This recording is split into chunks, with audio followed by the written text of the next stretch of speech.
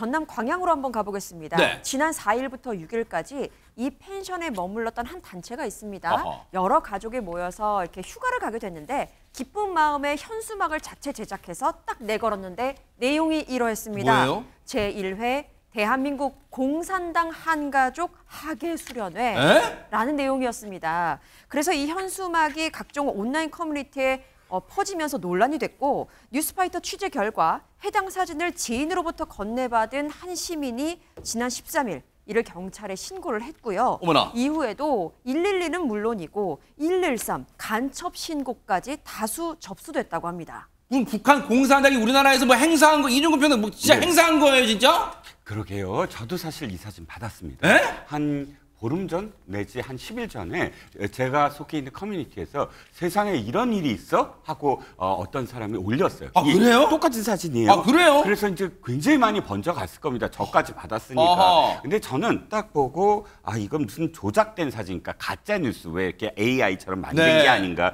왜냐하면 앞뒤가 안 맞아요. 대한민국 공산당이라는 말은 앞뒤가 안 맞잖아요. 그러네요, 그러네요, 맞아요. 공산당이라는 면 공산당이죠. 왜 대한민국이 앞에 붙습니까? 그럼 공산당은 사실 대한민국 이라는 국가 체제를 인정하지 않잖아요. 아하. 그리고 두 번째 하계 수련회 아 운동권은 이런 용어 쓰지 않습니다. 어, 그래요? 그럼요. 당연히 운동권 용어로 써야 되는데 이렇게 해맑게 한 가족 하계 수련회 이러면 공산당이라는 말과 안 맞잖아요. 뭔가 위장하기 위해서 저런 저 허, 허술한 어, 어리, 어리숙한 표현 쓴 거 아니에요? 위장 자체를 하지 않죠. 공산당의 당원들이 만약 모인다면은 아하. 수칙이 있어요. 플랜카드 같은 걸 하지 않아야 돼요. 아? 서로 다 불태워야 되고요. 오. 서로 서로 접선하는 것들을 공 이렇게 들어 대놓고 하지 않겠지요. 아하. 그래서 저는 믿지 않았는데 네. 어찌됐든 어 이게 뭐냐라고 생각한 분들이 아마 신고를 많이 한 것 같아요. 아하. 지금 한 분이 아닌 것 같아요. 굉장히 많이 신고. 지금 여러 통 신고 들어왔다는 거 아니에요? 그렇죠. 지금? 네. 국정원과 경찰이 나섰습니다. 어. 그래서 해당 어, 지금 드, 드러났잖아요. 네네, 펜션 그렇죠. 이제 찾아가갖고 네. 어, CCTV들을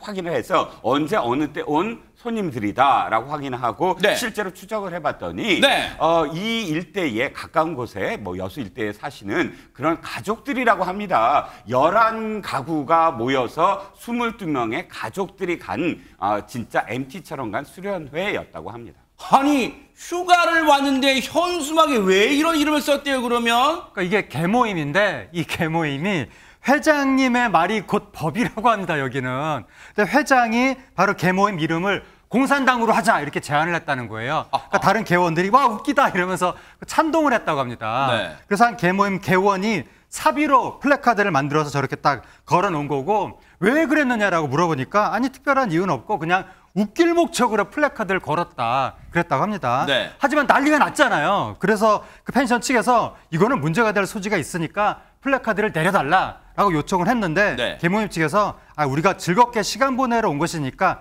이해해달라라고 하면서 거절했다고 합니다. 어, 우리들끼리 재미있으면 큰 문제 없겠다라고 대수롭지 않게 생각했던 모양입니다. 당시 이 현수막을 만들고서도 어, 그냥 너무 재밌어만 했었는데 휴가 끝나고 며칠 뒤에 경찰로부터 연락을 받고 아 이게 무슨 난리인가 이게 무슨 봉변인가 싶었다고 합니다. 그러면서 불필요한 논란을 만들어서 너무 죄송하고 특히나 펜션 사장님께 너무 송구하다고 입장을 전했습니다.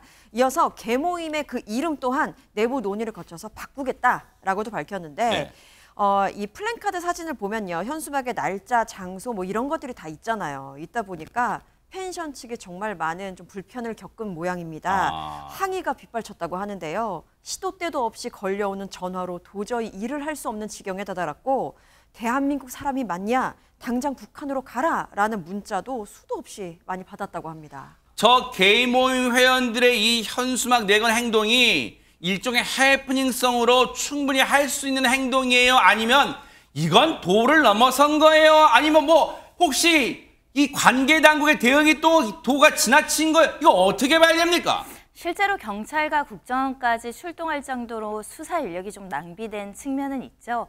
대공 혐의점에 대해서 수사는 하겠다라는 건데 시청자들 분들도 뭐 심각한 사안이라기보다는 좀 어떻게 보면 조금 너무 경솔한 행동이다 이렇게 보실 여지가 있을 것 같아요. 국가보안법이 실제로 적용돼서 처벌까지 가려면 반국가 단체를 뭐 찬양하거나 소위 말하는 간첩 행위를 해서 이적 행위를 해야 처벌할 수 있잖아요.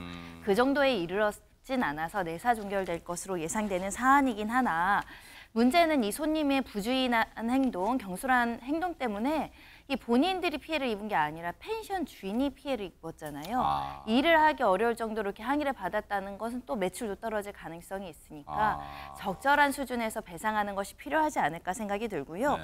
우리나라는 아직은 이 국가보안법이라는 엄격한 법률이 있으니까 이런 공산당이라는 표현 자체는 음. 누구라도 어떻게 보면 의혹을 제기할 수밖에 없다. 만약에 본인들끼리 유의의 목적으로 장난이었다면 공개된 장소가 아니라 그냥 펜션 방에 하나 조그맣게 음. 그런 정도라면 남에게 피해를 끼치지 않지만 이 부분은 사실은 법률적으로도 또는 펜션 주인의 어떤 영업을 방해하는 목적은 없었겠으나 실질적으로는 좀 부지한 과실로 아. 손해가 발생했다고 보입니다.